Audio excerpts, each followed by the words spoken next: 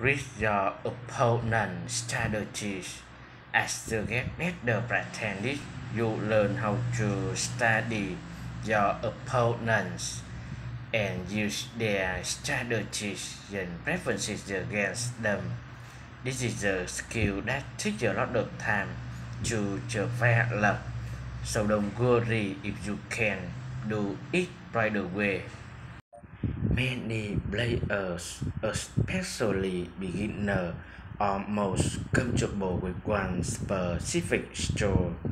If you notice that your opponent likes to strike the ball high with her forehand motions, you can learn to serve them low balls that require a backhand motion.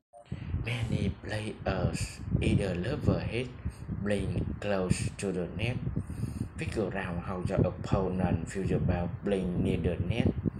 If they spend most of their time on the baselines, serve the ball close to the net to fall them up there. Get to know your opponent, sir.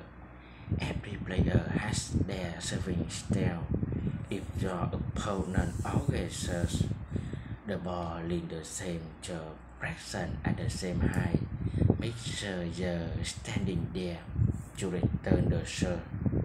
Study the opponent's mental state. A uh, stressed upset opponent is a vulnerable opponent.